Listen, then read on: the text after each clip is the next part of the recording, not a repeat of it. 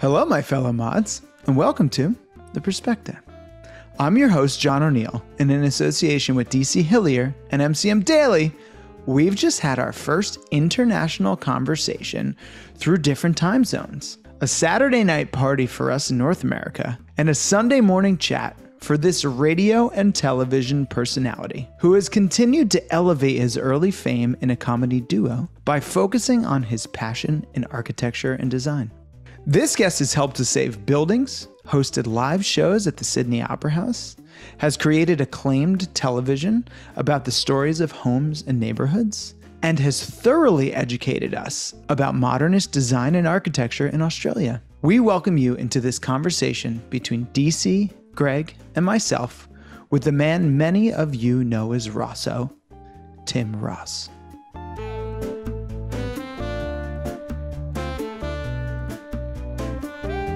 Ah, there we go. Beautiful. You can tell we're in the, the honeymoon phase of this podcast, and we all bought, you know, sure matching microphones, and we're we're up in our gear. What's good? I did a lot of spent a lot of time being a professional broadcaster, but Yeah. technically, I don't know what I'm doing.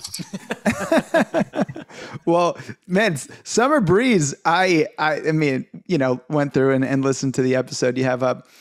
What a cool, you know, satirical spin on on a radio broadcast. Did you have like some of that audio and, and some of those clips, uh, you know, loaded everywhere so you could you could play them? I, Is that like I- a library? no. So what happened was I do a, a a Christmas Day show on on. We've got this station over here called Double J, which um, I w- worked at. The, its more junior partner. It's a government funded youth youth radio station.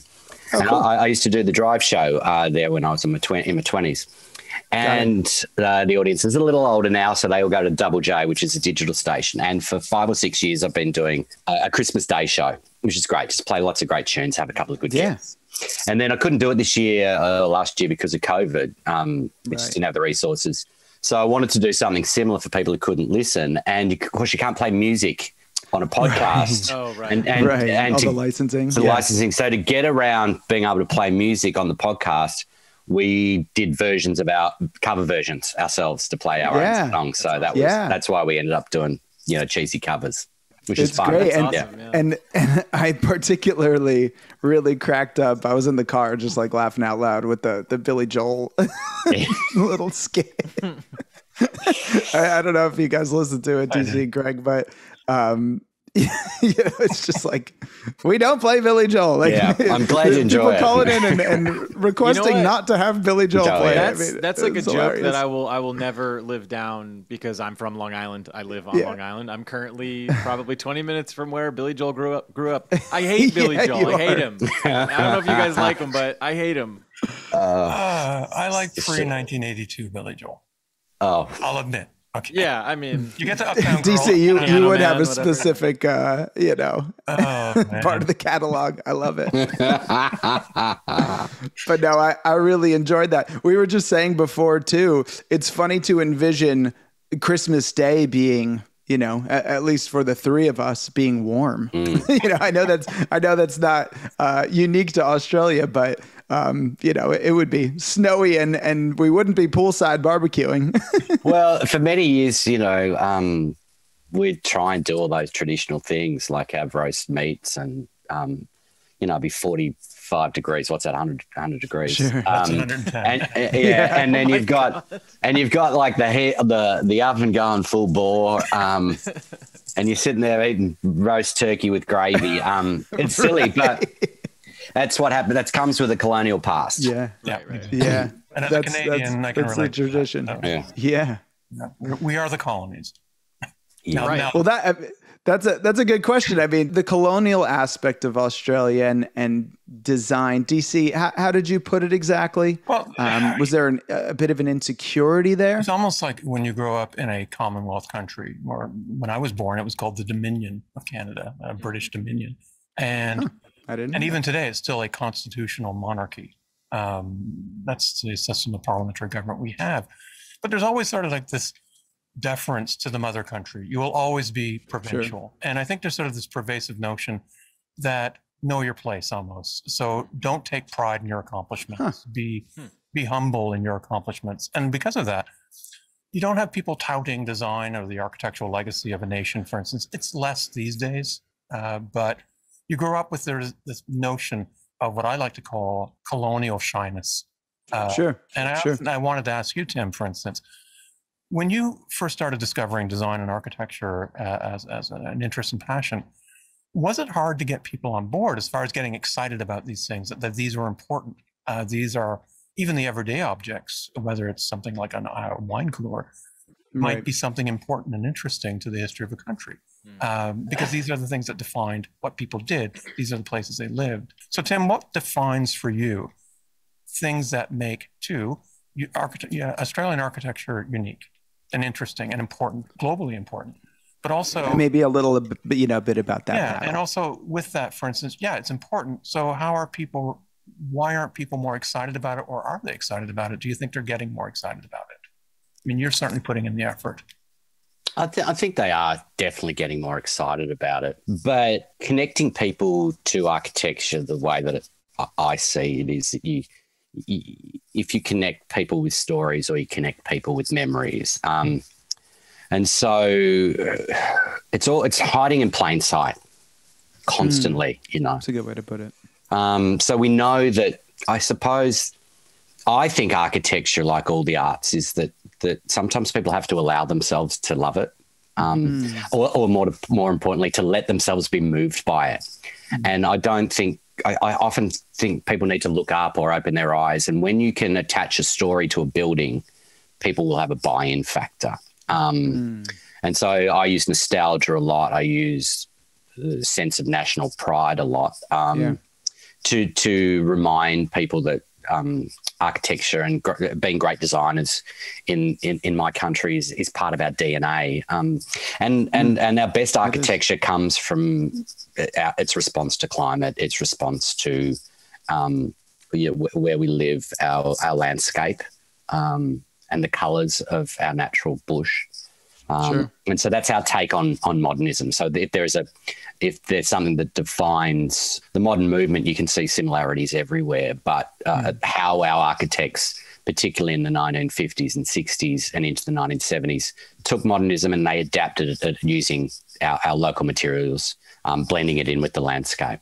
Yeah, I was I was curious if that was you know was that technology and innovation that was pushing the the field to adapt to you know the weather or the climate or or the surroundings yeah so um so we, you know we had a post-war um you know immigration boom um, people had to sure. live people live, live live somewhere and we had this explosion of um, architect designed um, project homes in in the suburbs all yep. across all across the nation, and so I, I suppose you call them tract homes. So, um, sure. uh, so we had our nowhere else in the world did did we did they have we had our best architects designing homes for everyday Australians, and so that was a mm. huge thing, and yeah, um, and suddenly uh, architecture and design in that period of time was top of mind for people. Um, there, there, was a middle class, a huge middle class, uh, people aspirational, um, and they started designing homes um, nestled into the bush suburbs, and so they sure. they reflect an, a national identity in a way that architecture had never done before. Or some of our certainly some of our colonial architecture, and some of these architects at the time looked to a, a sort of Australian sheds, um, sort of farmhouse um, typology. Um, sure. to, to create versions of that. Um, and then we saw it when, and then the knock on effect, the flow on effect of that, which was seen internationally, was right. uh, was Glenn Murcutt, our famous architect, who who reimagined a, a tin shed um, as a home, and then you know won the Pritzker Prize, and and um, that's a style of architecture that's been, I, I suppose, been been copied um, and yeah. inspired people all over the world, and and and the flow and effect of lots of those people growing up in interesting, well designed houses in the in the 50s, 60s, and 70s. They, be, especially now, they become architects in their 40s and 50s who are at their peak. They're, they're designing right. the best of our local architecture. That's been informed by that experience of growing up in an interesting house. Mm-hmm. Sure, sure. Yeah, I'd say much like it sounds like you know you and your neighborhood. Is that is that where it, it started? I feel like I heard that in an interview or uh, you know one of the the talks you gave. You know, like that, that's the same thing, and, the, and it's the reason we're all sitting around, and it's the reason everyone will be listening to this right now, and it's this, Sure. it's it's what I talk to everyone when I when I when I, when I'm able to tour overseas.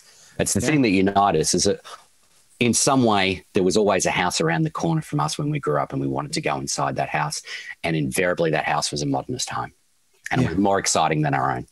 And it's the most simple of ways to point about this the pool of modernism in terms of this, visceral romanticism of modernism. And that's what gets us. And, it, and for us, it's also uh, people of my generation, um, both with television that was made here and television that was overseas. It was the architecture on TV when I was a kid. And because we live, because you know, we live in a provincial place, a lot of television we watched was on repeats.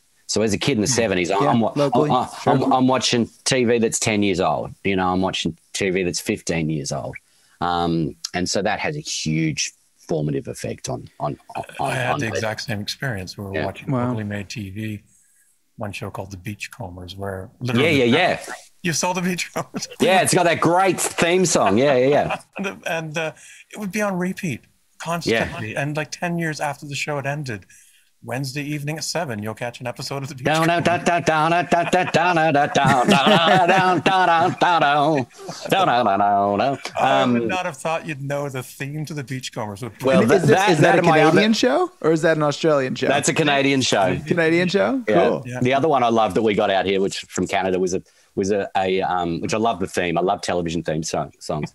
And there was a one called "Seeing Things." Um, oh my God.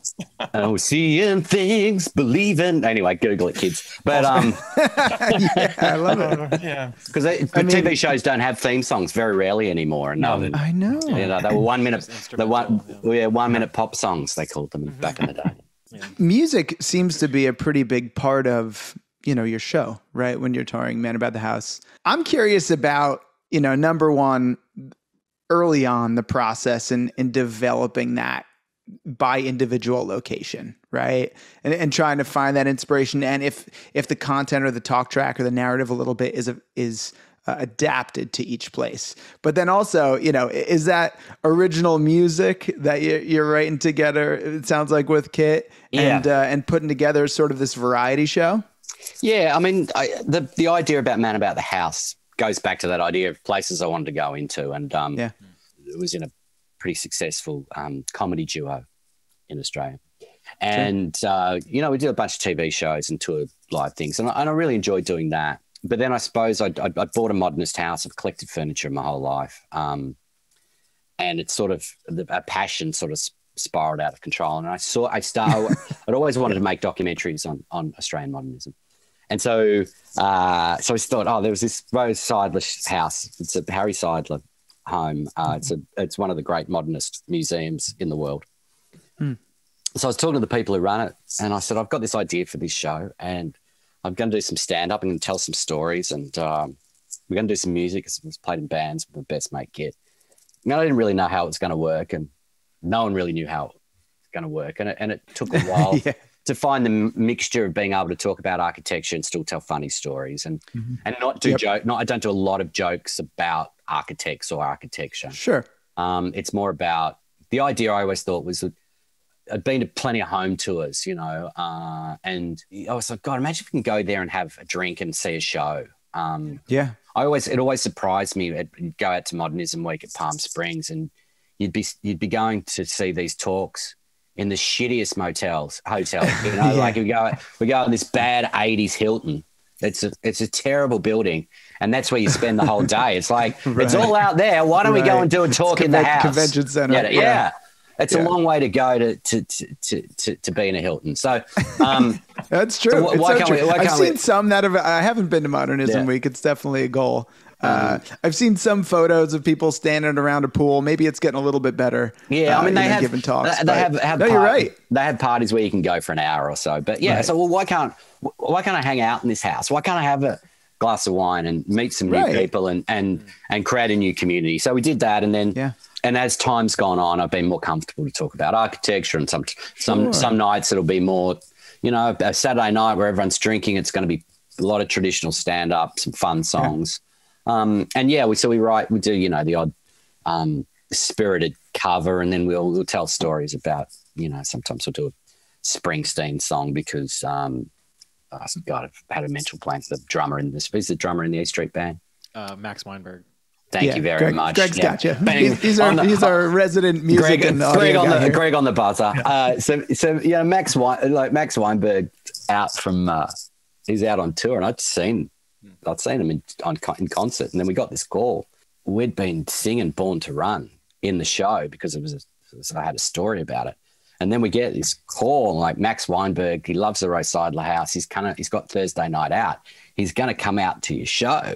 Whoa. And I'm like, oh, Max Weinberg, he, does, he didn't write Born to Run, but he plays it for a living, and we're going to have to Yeah. sing it in front of him anyway. He Didn't end up coming. Right. But um, but then we got a call, and they said, "Can you go and Nervous show?" for no reason. Can, no, can you show him the house? So we picked. I picked him up from his Ah. hotel Oh, Cool. and and drove him up to look at it, and then suddenly, you know, we were asking him every question you ever could, and then I, I detoured on the way back to show him this other sort of modernist neighborhood, and he, that by then he was a bit bored, and he went, "Oh, like, can you just, can you just take me home now, Tim?" right. He's like, I, I do, I do like the song. I only like modernism this much. yeah, I, I got to go. I got to do the show. But you know, like I do. Right. That's one of the things you know, like uh, I love about you know, much it's much maligned, I suppose, isn't it? The the social media, but um, that ability to connect with people all over the world who who, who share similar Yeah. similar interests is is a beautiful thing.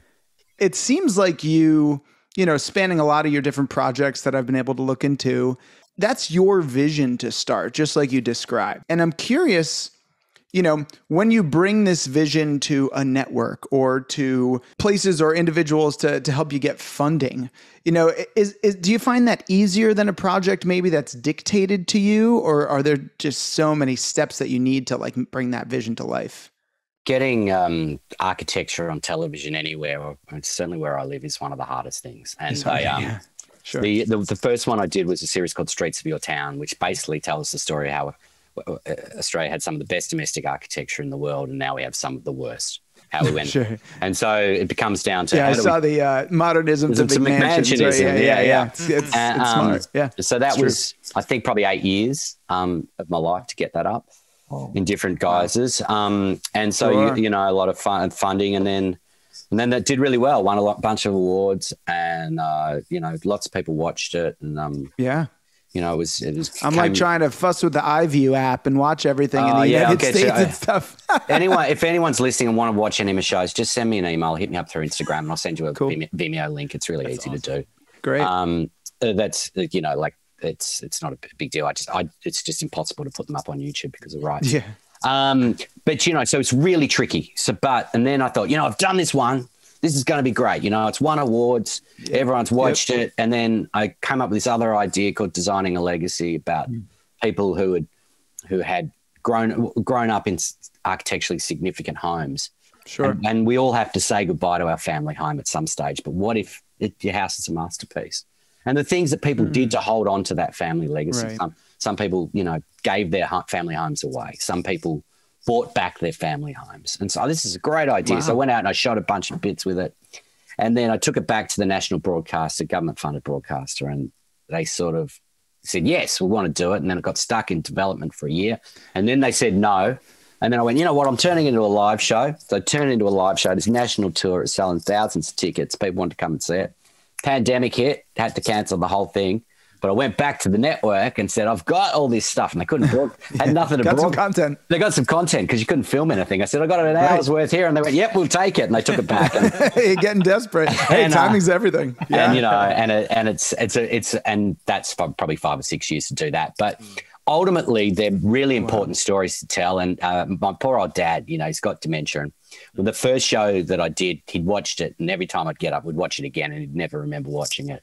And there's one particular piece in the first series I made. I went back to the, my family home, which was Oh, wow. quite a, quite a nice, simple 1960s modernist home. Very simple. But this guy just sort of painted it yellow and expanded it. And there's like, it was nothing left of my family home left. And Oh. we're watching it and dad's crying and I'm crying. And he just sort of, he said to me, he said, just keep making films like that, son. And so that's been my mantra, you know, that's what I do. Oh so, if they, so if they take a bit longer than other other projects, you just got to keep at it, you know, because when they that- drop, when they that's drop, you know, they make an impact, and and um, all these things do. They, ex- you know, it doesn't matter whether you've got five people on your Facebook page or a hundred people, or you're doing podcasts or whatever it is. All Yeah. these things create an awareness. It reminds people. It brings new people in. They go, "Why is everyone excited about this stuff?" Kids see modernist homes and love it. They, mm. Uh, or why is modernism over?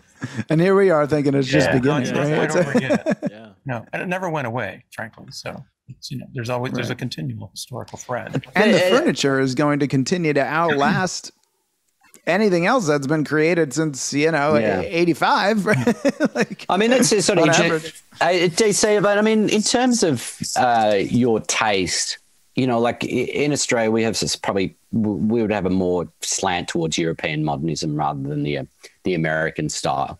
You know, in broad in broad terms, in terms. Broad of strokes. furniture. furniture. Um, was that similar in Canada in, in the way that your what informs your taste? Uh, well, here in Montreal and for a large, to a large extent, East Coast and Toronto, uh, the Scandinavian modern Yeah. was king.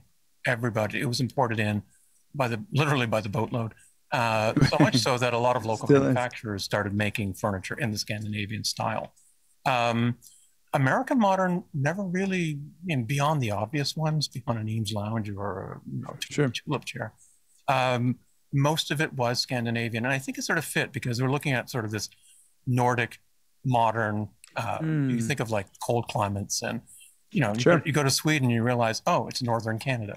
It's fireplace furniture, I like to call it. It's comfortable. You can sit in front of it, get into a, a comfortable Danish modern chair. It's so much volume for so little mass. I kind of like that idea that they pare back Mm. everything to the most beautiful, simple elements. And that found a, a very good home here in Canada. Uh, Montreal, in particular, had a lot of local manufacturers designing. And one of the things that, uh, unsurprisingly, uh, French Canadians didn't take to French modernism, but they certainly loved Hmm. Italian modernism. Mm. So a lot of manufacturers, Sinon is a, one of those manufacturers who brought in great Italian designers to design locally furniture lines. Uh, however, those designers, and I'm not speaking of all Italian designers of the period, had somewhat tremendous egos, and those egos went unchecked uh, in Canada. So Okay. a lot of the furniture they designed, it's Bugs Bunny over the top. It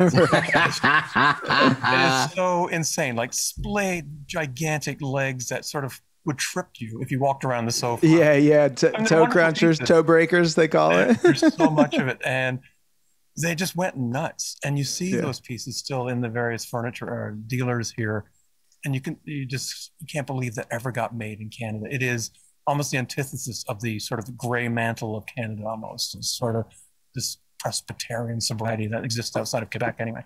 Uh, in Canada, however, the West Coast, whether you get to British Columbia or Alberta, modernism really never found a foothold. Strangely, I, I don't know why that is, except architecture. i mean fl- flat roofs and and water and, and snow don't really mix No. right essentially Um, uh, it's uh you know that becomes problematic uh, tim are there any furniture makers historically in australia that are you know worthy of being on on anyone's radar you know to to import or anything really famous that sticks out to you I mean, the the one that's the, the hugest one is Grant Featherston and his wife Mary, who's who's still with us. Um, yeah, he his furniture is fabulous and incredibly collectible. You know, they, lots of people were making really interesting furniture here. Um, A lot of it's just really simple, really useful a, a take on Scandinavian furniture. Then some of it's more interesting. Uh, Clement Meadmore, who ended up being a famous sculptor, um, moved to, to New York, I think it was. His early furniture is very collectible for that reason. I suppose there there there are people who were making furniture themselves, or a lot of it's sure sure there was just sort of lots of companies that people are very fond of, um, like Parker Furniture here or T.H. Brown or Chiswell, who would who would make sideboards or buffets and couches, and they were they were hugely popular. There was a guy called Fred Lowen who who had a company called Tessa, and we had that growing up, and he designed some beautiful sling chairs that that were sold all over the sold all over the world. Um, and then you know, it, New Zealand had a, an interest, interesting one because most of their furniture was locally made because of tariffs. Mm. and so mm. so Yeah, there's they- top, topical right now in Canada. they couldn't they, they never imported any furniture so any of the furniture that was made there that looked like furniture that you'd see elsewhere they designed it from books Right. Uh, you see that a lot where people just go and so everything's a little bit out of scale you know you go up to this table and you look at it and you go it looks like something and then you go oh the chair's a bit bigger than it should because someone made it in Right. that reason They, they scaled it up just Yeah, slightly, off. yeah, I mean, I- isolation plays a huge part in what happens, um, and that's Yeah. what makes sometimes the what what in both Australia and New Zealand was that people would. You know, it was just kind of, you couldn't see this stuff. You couldn't go anywhere. You couldn't Google it. So they were looking at things from magazines. And sometimes, you know, there was like a copy something from a photo that was like a small black and white scale photo from the 1930s. Um, and we had, if you start looking around at this sort of uh, eight degrees of separation, you'll find that the Australian modernists all have some sort of fit in Europe or America. Yeah. Yeah. So, like our great architects like Roy Grounds, he went to America in the 1920s. He's doing, he's designing sets for Hollywood.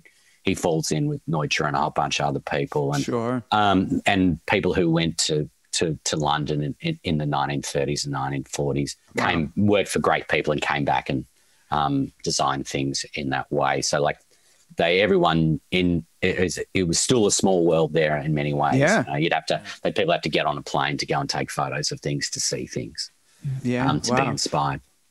That's pretty. That's pretty incredible. I mean, it comes sometimes it comes down to a group of people, right? And and they all and they all know each other. They say that about business, right? It's just a collection of people doing something, um, you know, in a in a concerted way. Are there any um, are there any woods, you know, native to Australia or New Zealand that were used, or, or materials and furniture that you're seeing? Um, the Australian hardwoods, but a lot of them were still the option was still using a lot of teak in those days. Teak, yeah. um, which okay. But now and then they would use some Australian hardwoods, but you were more likely to see those those timbers used in in in housing. But then we were still using a lot of what we call Oregon, but Douglas fir was huge for a long period of time for um, making certain furniture here and, until it became, you know, too expensive um, Yeah. for people it's, to use. It, it's funny the extensions of, you know, this this interest. You know, all of a sudden you you go deep on wood one day, you go deep on, deep on you know, the shingles and and, and that stuff. So, the, I mean, the, the tr- the the house that I'm broadcasting from now is was designed in 1959 by this guy called Bill Baker. And Bill, what happened here was we ended up with all these, all, all our architects ended up in the Air Force uh, during World War II. And so they all learned how to fly, or they, you know, because they, they needed them to draw things, or they thought they were technically inclined. And so Bill learned how Bill Interesting. Bill learned how to be a pilot in World War II, and then he came back and he started up his architecture practice, and he also was working for Qantas as a pilot uh, on the side as well. And so he he went to Japan and he went particularly to Los Angeles. And- yeah, and- that, and that would get you exposed to a lot of stuff, right? and, yeah, and so he came back, and and that's why this house we're in looks like like it does for that reason. Wow. And um, and and and, and he designed it in that sort of East Coast style, and um, and, and those sorts of. Uh, and then you know someone walks past and they go, "I really like that," and then they get their builder to do it. And, um, and I've done a lot of I've done a lot of work on um, the history of Australian motels and the uh, yeah. the motels That's are really book, right? fabulous. Yeah, and, I need, and they- wrote? yeah, and I they- need to put something in here if I may. A long time ago, I shared a photo, and I love the wood paneling. I love the Danish style chair. I love the acoustic guitar in the corner, and I loved especially the Arne Vodder sideboard in the background. I couldn't credit the photo, and normally those days when I was running the MCM group on Facebook, I would never share a photo unless I knew the photographer. Sure. But that photo, so I'm going to use the Just too good, huh? I found it so engaging. there was such a tranquility. The acoustic guitar, in particular, I thought was something amazing. I thought this was such a peaceful looking, beautiful scene. And I actually captioned it. If anyone asks me why I love mid century modern uh, architecture, look at this. And I only found out yesterday, looking up and reading an interview with with uh, with you, Tim. That picture, it's your house. It's the Bill, no it's way. the Bill Baker. Uh, yeah, Look at that. house. I'm So that- blushing. Yeah. uh, it's such a beautiful home, and Thank you. and I saw the facade, and I'm going, it's really American looking almost. Mm. It's a really a lot of American. And then when you say the architect went to L.A., you can definitely see it right there, Mm. and especially also the Japanese influence. It's, uh, Yes. Yeah. and that mastery of tranquility, almost you know, scale of space and, and and economy of space. It's just a great, great house. Yeah. I mean, it's and it's and and it's a, a, a modest house. It was originally a two bedroom house, and now it's um, it's a, they extended it in, in the early 1970s. But you know, I, I moved in here by myself, and now I've got you know, we've got a family here and two boys who who have the joy of growing up in a modernist house. But it's um, it's beautiful. Yeah, we, we were talking a bit about that. Now, how how how do you approach getting the children motivated? But you know, you can't oversell them, right? Because they could sniff it out. And and and dad's all into this, you know, modernism architecture stuff. Is it is it cool for me to do, right? How, how do you plant those seeds so that it's sustainable for the for your for your children? You just, I mean, you surround them by interesting things. You know, today we'll go Yeah. off to the art gallery, and um, when we travel, we go to all sorts of places, and you let you let that experience do its hard work. I mean, uh, you know, classic Gen X people cry into their graves when their kids don't like Nirvana, um, and That's I- a good way to put it. and, and I, it's sort of like I, I, you can all you can do is is is put the cards on the table, and if they want to pick them up, they want to pick them up. And you know, there are people who have lived in this house that I've met um, who haven't been affected by it at all. By it all. Um, the original son came, came around one day and he'll look at, oh, that's where my head got caught in the balustrade. But you know, at my 10th birthday party, and the fireman had to come over, and that's Right. where, that's mum and dad's workbench in there, and it, it becomes all that stuff, and and nothing about the architecture right. and then people who have seen also, you know, my accountant was sitting next to this woman in Melbourne, and you know, at, at, at this function, he was talking about having a client in Sydney and whereabouts, blah blah blah. It turns out that you know, oh, I I grew up in that house that Tim lives in now. I, I couldn't believe it when I saw it in a magazine. They thought that Wow. little of it. And the best one was the guy who lives around the corner, grew up, lived here for a period of time when he was a kid. He remembers the house being dark. Now I've got a full. It's a glass box. I don't know. I don't know how that can happen, but or maybe he didn't come out of his bedroom. So it's yeah, it- it- maybe there was a significant curtains Yeah, up or yeah. something. and you know, like this was a house that I bought when I bought 15 years ago. No one was interested in buying. Wow. Yeah, not not there was not another buyer. Wow. Yeah, which was lucky for me and my family. And I mean that that's why we educate, right? So that Yeah. the things that we we've collected keep getting more valuable. No, just, it's right, it's just, right. It's, just, yeah. just kidding. Um, I, I going back to Matt about the house. Um, are some of the stories that you're you're sort of working through, you know, as a result of having a conversation with the with the homeowners, or, or with you know, if it's a museum, for example, you know, the the curators. Yeah, yeah, um, very much so. Um, and so the story just the the show just gets added on by those experiences Yeah, uh, of yeah. things. And when some houses are, we'll do, I'll do newer houses as well for shows. Um, Yeah. This weekend I'm doing a, a, a modernist house in Brisbane that's the architect had died a year ago, and so this is his family saying goodbye to the house. They've just sold it. And so Wow. that his work and what he did in Brisbane will inform a, a fair bit of that show. And then there's, Sure. there's always something that fun, funny that happens at, in people's homes, or um, Yeah. and people are so Just kind. let it happen. Yeah. yeah, we did this. Um, we've, we've probably done more more work in, in the UK over the years than in America. Uh, um, those sort of wonderful brutalist buildings in London, you know, you know Goldfinger um, flats and, and, and, and towers that we've performed in, and people are really great. You just email them or bring Yeah. them up and say, or, or they'll come to one. Someone will come to a show and say, "Oh, "I'd really love to." Do you want to come and do a show in my house? Go, yeah, that'd be amazing. Thank you very much. yeah. yeah, people really. No, it's a, it's such a it's a unique community in that respect. Um, you know, I I have uh, I have some thoughts about uh, like an app, right, where where you could start to discover, you know, places that are local. And then I'm curious if, if somehow all these modernist homes get listed somewhere controlled, obviously, you know, does that turn into, hey, why don't you come do a tour of my house, right? like, and, yeah. and we'll, you know, you know, pay you five bucks for it, or you know, come over and have a little, uh, you know, soiree. Um, Yeah, well, you people- know, because people want to talk about their interest. Oh, they do, and people are house proud and they love it. Hmm. Like, oh, come and have a look at it. And I, I too. can't, and I get too many people emailing me, to be honest, saying, "Oh, come and stay at my house." I go, "Okay, maybe not stay, Uh, but let's, yeah." draw, let's draw the line. I don't. I don't quite want the Hilton in Palm Springs, but uh, but I'm not staying at your house Yeah, either. No, I, I think um, uh, you know, one of the things I found, you know, both in radio and in, in probably what you're doing when you're developing some of these, all of these shows and the content, it, it's improv to an extent. Um, has that been a craft that you have really focused on? Is that you know repetition and just getting yourself out there? Um, I mean, I've been performing professionally for 30 years, I suppose now, maybe. Sure. No, almost. Um, so you know, sooner or later you do get pretty good at it. Yeah, and you get yeah, you do. Um, you do. and I also pick the, the the thing with performing the the best, the easiest gigs you can ever do are the ones where there's hundreds of people because they make a there's a there's a noise. It's almost impossible from a stand-up comedian's point of view. It's almost impossible to die on stage in front of a thousand people. Sure. There will always be a hundred out of it. Somebody's- Someone's going to laugh, you know.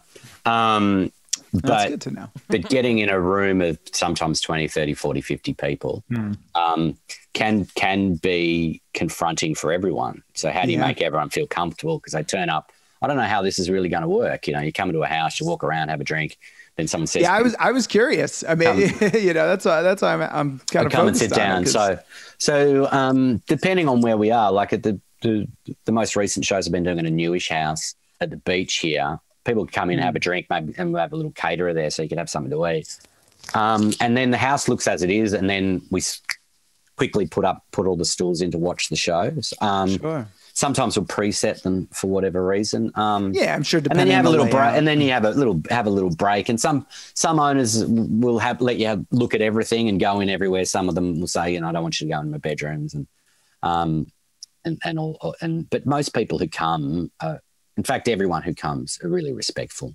Um, Yeah. they're really excited, but it's not for everyone. Um, you know, I've done it in my house, and I probably won't do it again because it's people, Right. people uh, look at what you've done or, or your house and go, "Oh, it's small. Oh, I don't like this." Right. You know, well, I know how the Facebook comments go, so I can only imagine. yeah, it's you like know, it's, it's like that in real life. right, right. and and I'm sure you know you're you're probably people would might recognize you, right? But you know you you don't actually know. You probably know the owner who's walking around, you Yeah, know, you when you're know. performing. But some people might not know who that is, No. and uh, I'm sure I'm sure there's some funny funny interactions. I mean, so there was this one where um, this woman who was so excited about having us in her house, and then just before we were about to perform in her lounge room, it's quite intimate. It was about thirty people. She went Yeah. compl- she went completely white, and she was like shaking. And I thought someone had said something to her. Someone had stolen something or something. I said, "Is everything okay?" You know, she goes, "Don't worry about it. I'll tell you about it after the show." So we did the show. er- Everything was fine, and Sure. uh, she's there. She walks away from her husband, and I said, "What's going on? What happened?" She goes, "Oh, you wouldn't believe it.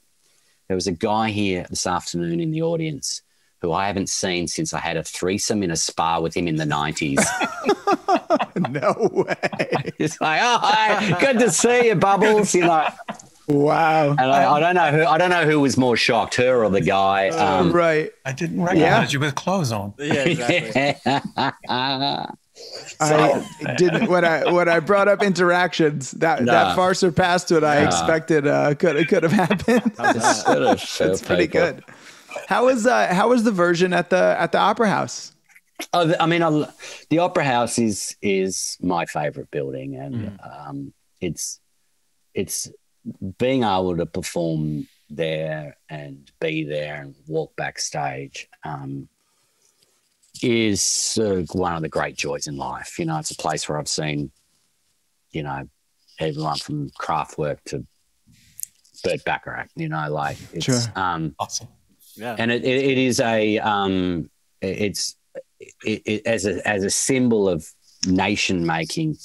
Um, it, it it is our it's our calling card to the world. It Yeah. should say to Yeah. the world that we are a progressive society that loves the arts and believe in the arts, and we can. We're, we're brave enough, and of course, it came with a shitstorm, and um, to make it, and um, it it wouldn't happen today. They wouldn't. It wouldn't. Yeah. But um, you know, enough I, people I really cared. I didn't know the background about about it being a design contest. And you know, it sounds like there, you know, manufacturer, you know, construction wise, there was some some drama. But was Eero Sar- Saarinen was yeah, it was um, on, like on on the judging board? Yeah, and I think the stock could be wrong, but yeah, and like the the Utzon design had been discarded, I think, and then he came up and he, he went, "What about this one?"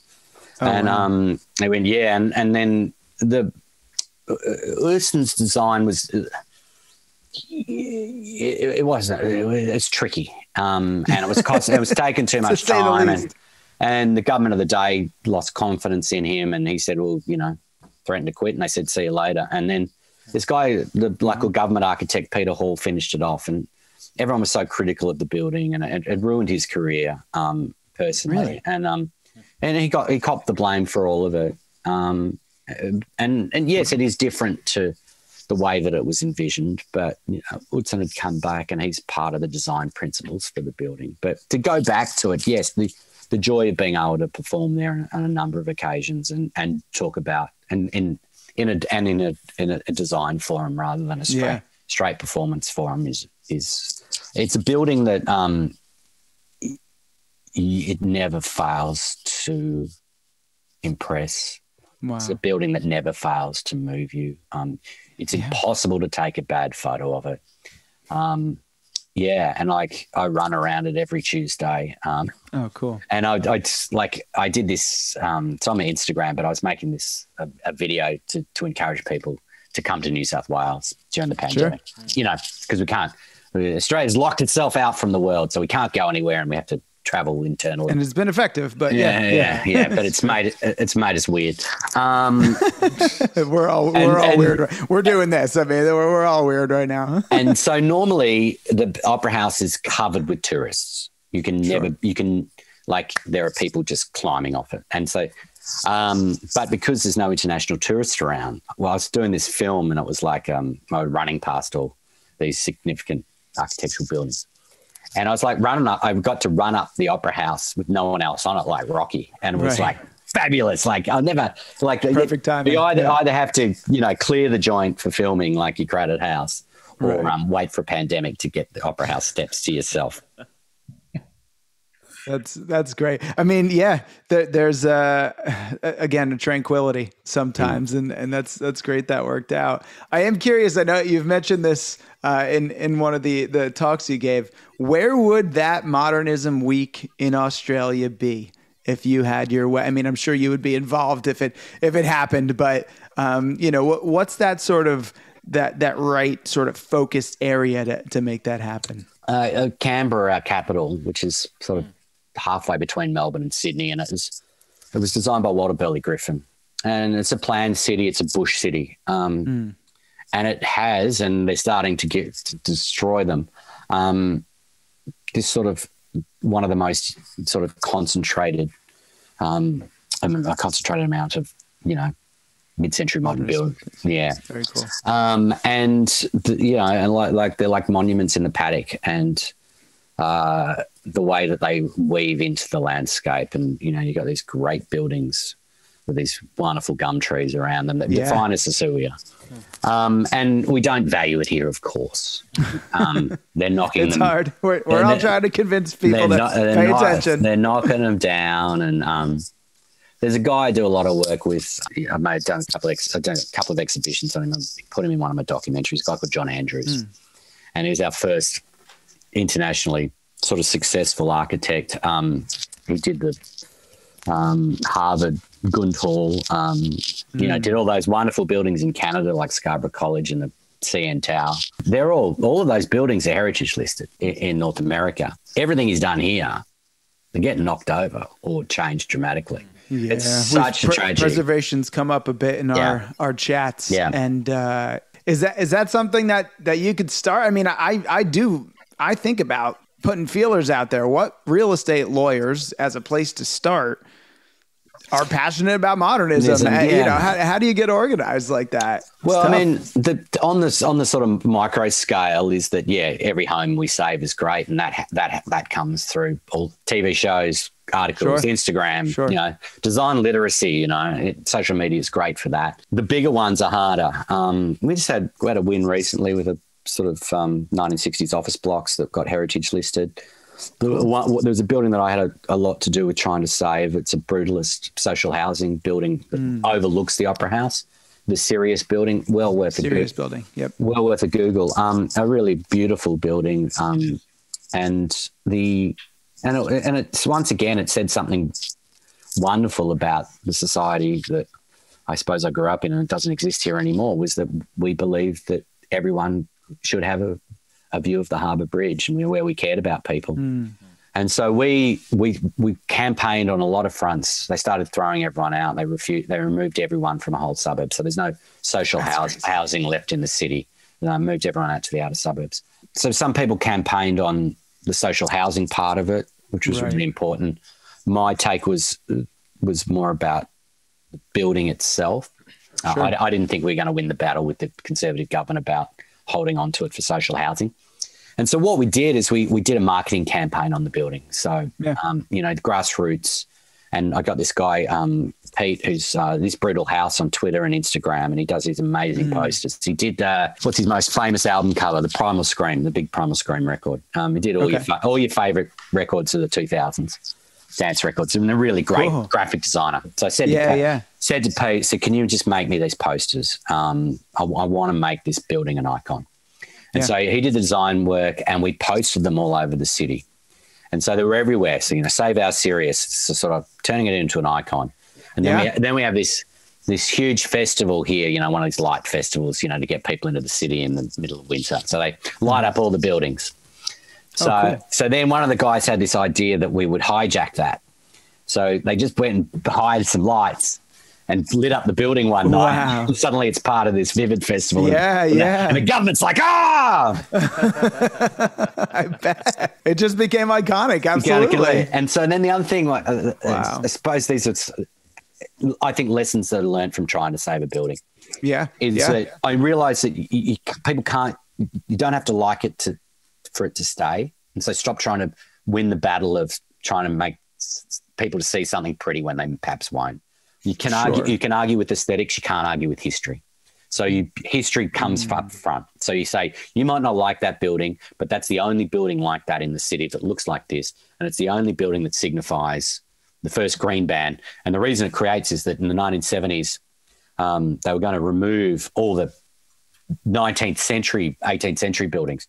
Um, They're going to just demolish all these 200 plus year old houses. So they put this green ban in. The union movement put a green ban in, and it stopped the the, the, the just and then and as a result, the bit that they'd knocked over where they built the Sirius this this sort of Sirius building, the, Got the brutalist building. Got it. Um, so, so, but get people to see it, and and and and pro- protests are good, but they've never they they don't change people's minds in some way. There's got to be some depth. Uh, Get, get, yeah, yeah. get get people to it. So we had this thing called Friday night. Storytelling. Yeah, Friday night Sirius, right? And I would say don't don't go to the pub for your Friday night drink. Come down, bring your friends, and come down to the building. And so people would come. We have hundreds of people on Friday nights coming down, and there was no signs. It was just music, and you know we'd buy beers for everyone. We'd cook a few Organic, yeah. sausages. And then people would bring people down, and they'd see it, and they'd look at it and go, "Wow, this building's beautiful. I've never, I, I, never really thought about it, or whatever." Or they'd un- hear the story or meet the people who lived in it. And then we knew, sadly, we knew that it was making inroads into the way that the government felt we were changing the public sentiment about the hmm. building.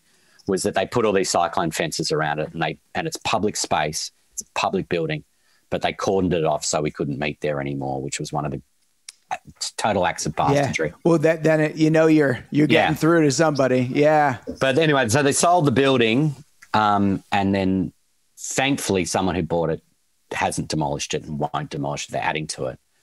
But it's no, but but it becomes a place for the rich people to live, and the government sold it for 155 million dollars, and they just sold the penthouse, one apartment, for 35 million dollars. Oh my God. So, so they gave it away.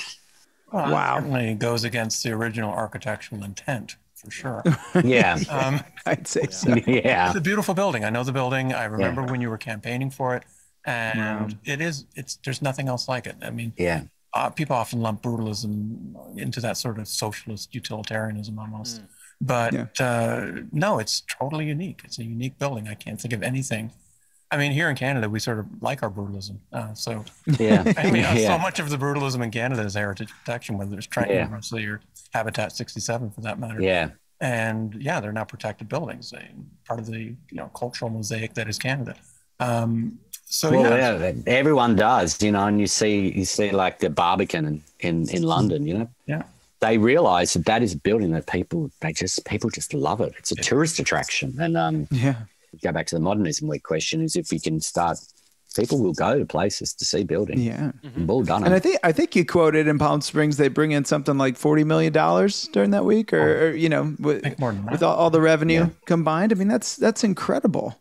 That's incredible. It's going to keep growing. Yeah, I have Um, feeling the next Modernism Week is going to be a huge blowout because the pandemic has now stifled two of them.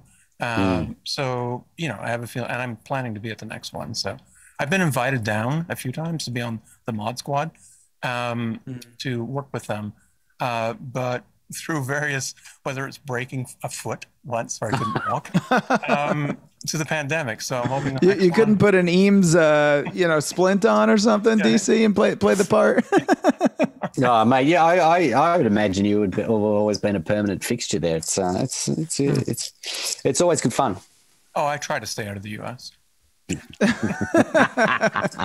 One of my guilty pleasures. I'm sad to see it's been over for a while now, but it's a place to call home. Um, I just, it's a soap opera, but I just, I like the characters and I kind of enjoyed it. And I remember because he, one of the principal characters got elected to the Australian Parliament as a conservative uh, and was going to Canberra. Um, I might be mispronouncing that name, but all um, and I was so excited that they were going to go, and they, they barely showed it. Ah, And they, and they lived in a modern apartment, which was great. Like the couple lived in this great modern apartment, but they're not showing anything of the architecture. I figured, I guess their B team wasn't available that day, so instead of- right. but yeah, no, no, no, not, not the biggest budget on that show. I must say, I've never seen an episode, but uh, thank you for flying the flag for a place called home. Gosh. That's a good, good show. It only, it only lasted four seasons, but um, you know, I don't usually watch soap opera. I, I call it soap opera, but it isn't. It's uh, you know, just a, Well, they- a they- melodrama. So I think it was Marta. I, I think Marta Dusseldorp was in it. She was, yeah. Yeah, She's amazing, so- by the way. So Marta, you'll love this, DC. So Marta's uh, grandfather, Dick, worked with Harry Seidler. Oh wow. And so he was the developer of all the um, Australia's Australia Square, um, which is a huge modernist building in Sydney, our first modernist skyscraper. And Harry designed a house for him. Oh, Yeah. that's wild. Six degrees of And modernism. so, and, and then, and then Mar- Marta was the uh, narrator of the Harry Seidler documentary. Oh, okay. There Why did Seidler decide that you needed a 700 meter ramp to get into your home? There's always that long, not, not exaggerating Uh, length, I but- think that was for. Uh, was it always? I can't remember. That was for his mother as she was getting older. I think. Ah, so, okay. okay. Yeah. Function. It was an accessibility thing. It's either form or function, right? Yeah. Hopefully. Because I love If you could- I love that sort of slow walk up to the home. It's like it's it's a gradual introduction Yeah. to entrance. Uh, I tend to over romanticize architecture. It's just my thing.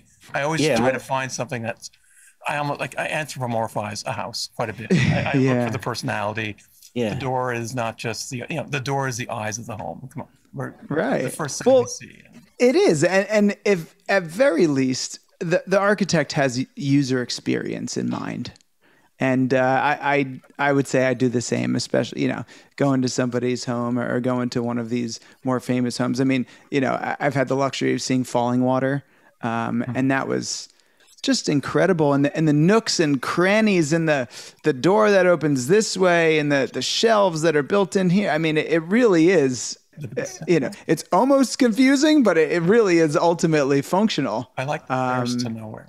It's- right Just walk down the stairs. Just, there's a tiny landing at the bottom, and, Yeah. and just water. I mean, I guess it's meant to be contemplative, a Right. pool, but there's no place to sit. There's not enough space at the bottom of the stairs to put a chair. Uh, right right right right right I, I know what you're talking about down the stairs, you stare at the water, and you can't go down in the spring because the lower steps are flooded. So it's because the water rises in spring runoff. And but I still think that's one of the like beautifully superfluous architectural features of this oh, yeah. stair to nowhere. And I, I love architecture that surprises. I'm bringing it back to Australia and even New Zealand, where they sort of shed this notion, this British notion that all great architecture ended 200 years ago. So you know it has to look hmm. Fake, you know, whether it's Right. Victorian or Edwardian or Empire style, whatever, um, Italianate for that for that matter. Yeah. And they sort of think, okay, that's the pinnacle. Everything else is sort of this dredge of whatever happened. We've peaked, and now it's simply cookie cutter, whatever. And therefore, there's, especially in Britain, to get modernist houses uh, heritage listed or grade two or grade one listed is still an uphill battle despite Yeah. the education. Australia went another way with it. It seems to my knowledge anyway, that there was a much more open uh, acceptance of modernism, modernist architecture, uh, but catered to the you know the Australian tastes, which you don't see anywhere else. Uh, I can't compare it to anything. Yeah, there's influences, uh, as Tim already pointed out. There's always going to be influences internationally. You know, There's a cross pollinization uh, when it comes to architecture. So, Tim, uh, back to uh, another thing. I have to. I've been. It's been bugging me. I watched your talk in front of. Now, forgive me if I don't remember the exact name, but the Australian Journalism Association. Oh, the Australian Press Club. Yeah. Yes. Press club. Now, first off, wonderful talk. Uh, Thank you. Very enlightening. Uh, I love that you bring it back to your childhood. That this is not something new. You didn't just stumble into the It's deep. trend. It's something that's been there for a long time, and you've allowed to germinate into something incredibly uh, important as far as architecture and preservation goes. But that crowd, whenever they got to the crowd, Hmm. it's like you were talking to mannequins almost. They were like, they Hmm. were surprised. Why is this guy talking to us? Expression. What the hell is he Sometimes, yeah. Modern buildings. I don't Hmm. know. I mean, normally it's politicians talk there, and it's televised every week, and um, it's pretty dry. Sure. Um, and this particular lecture I did was they it's the architecture uh, lecture that they do once a year, and which was a delight to be asked to do it. Uh, probably the most nervous I've ever been doing a uh, doing a forty minute or thirty minute talk or whatever it was um, Sure. live on national television. Um, oh, that was live. live. yeah, Wow. yeah. Um, Wow. and to a room where people like yeah they, yeah. They, they go all the time and they're Yeah. and they're drinking red wine and it's um it's it's it's this pretty funny it sounds the press club it sounds very uh sophisticated but it's um it's it's like we have these things called RSLs here it's like a, like poke event poker machine venues uh, where you can get a Hmm. cheap meal it's sort of like a club like that so terrible carpet ding ding ding ding and the poker machines in the background so it's nothing it's not like some tr- trendy men's club but um Right. Right. and and Canberra, because it was in Canberra, they there are people there who they, they just want things they want everything to change. And the saddest thing about this country is that we can we can we've got a blank canvas for great ideas, Hmm. uh, and then we can be progressive and we can do new things and we can create architecture in our own image. But then we just want to keep updating everything. We want to show the world that we're we're not outdated, and we've always Sure. done it. This is this sort of idea of our, our our, our complex about being isolated and that that's and in Canberra like if there's a building's 50 years old people are embarrassed of it rather than seeing it for it, it for its beauty and Yeah, for its his, its history and, and to celebrate it yeah correct Yeah. Yeah. I mean, you know, indicative of that, that, that came up in that talk is somebody, if I understood this correctly, literally wanted to put a, a billboard on the opera house or some, some sort of advertisement. Is that true? Yeah, so they do they do projections onto the Opera House sails quite Okay. often, and um, for certain cultural events, um, um, Sure. there are lots of indigenous movements and, and for all sorts of, yeah. cultural Sure. reasons. Um, if and it's then deserving. Yeah. Yeah. and then they had a they had a like a horse race, and they wanted to put they wanted to put the numbers of the horses on it, and um, the Opera House said no, and it became such a furor. Um, Sure. and the government intervened and because the government owns the opera house and made Right. them and made them do it and the prime minister our prime minister said well it's a it's a billboard of course we should show it off Got it. Got it. and i and i i went on television on a you know sort of popular current affairs show and never in my lifetime did i ha- ha- think i would have to go there and justify the importance of the Sydney Opera House, the most stunning building of the 20th century, um, our world famous building, and we just want to sully it as the home of the arts by, you know, putting some sort of crappy ad on the side of it, and it, it- it's like awful, just awful, and it and it broke our hearts. I think um, as a nation, we don't respect the building enough, and we don't live up to its promise. You know, Sure. we, we let that building down constantly. It, it should be, it sits there to remind us what we're capable of. We just let it down all the time. Yeah, I mean, well, look, you are um, you- you're saying the right things, and, and you're trying to bring that motivation, that energy, and I think the focus, uh, you know, in the right places. And I, I agree. I, I I think you know, letting that be the anchor and and you know a source of national pride and and celebrating you know the the fact that it, it is really a modernist um, building in many cases is it, it's got to be the way to go. I got I got one one light question for you, and then we can uh, we can wrap it up. So so during the you know comedy duo TV show, did you did you get to play set designer at all? I did. I did. I Very did. cool. I did. I did a show called Unplanned, uh, which is like a, a impro show, and uh, I, like I had I had a bunch of books, and I literally just got I got all these photos, and I gave it to the guy who was doing the set design. I said, I want I want Sure. this. I want this modernist house, like Yeah. this sunken lounge. And so the sunken lounge is is Oh, based on the on the Miller House in a in a strange sort of way. And then he took elements from everywhere, and of course everyone Sure. Everyone thought it was like the Brady Bunch house, and then you're like, no. and then the strangely enough, that dude, the dude who played Greg Brady, whose name um, was out on tour doing something or other. He's on some promo tour, and I was I was interviewing him on the radio, and I said, "Oh, can you come and do a, you know, guest spot on the TV show?" And so Sure. At the end of the show, we got him to knock on the door, and it was Greg Brady turned up in the TV show, which was fun. Wow, that's great. He said, and he probably wondered what he That's was doing at the Miller House. he's yeah, right. a, Well, ni- he's I a mean- nice guy, really nice guy. That's awesome. Yeah. Any so so on that on that pursuit and sort of having you know had this uh, this conversation. Any tips or tricks? Um, you know, as it relates to radio or, or um, you know, kind of trying to get to the next level here.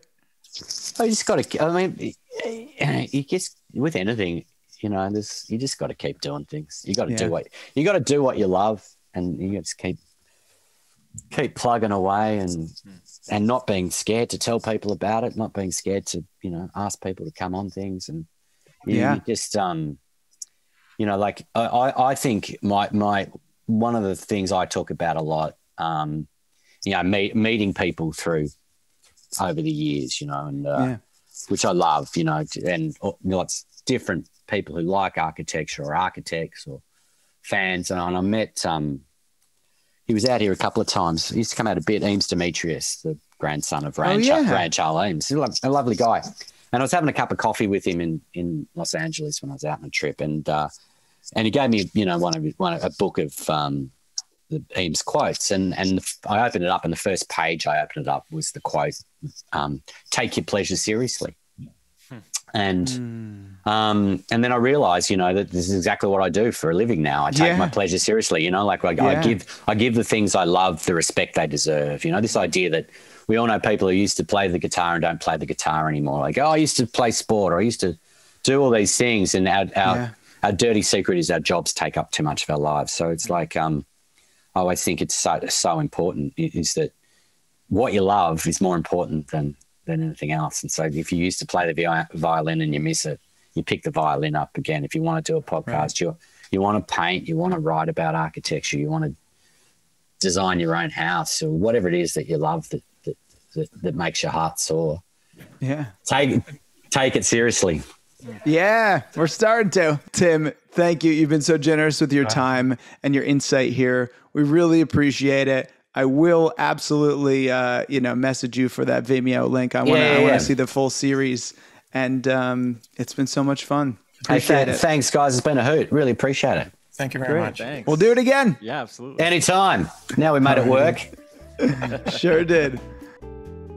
Thank you so much for tuning in from all around the world. This was a masterclass, and we learned not only about Tim's passion for architecture and design in Australia, but we have picked up a number of tips as we continue to refine our craft in production. Go follow Tim at Modernister on Instagram, and if you're in Australia, go and support him in one of his upcoming live shows. Until the next mid century, thank you, and good night or good morning.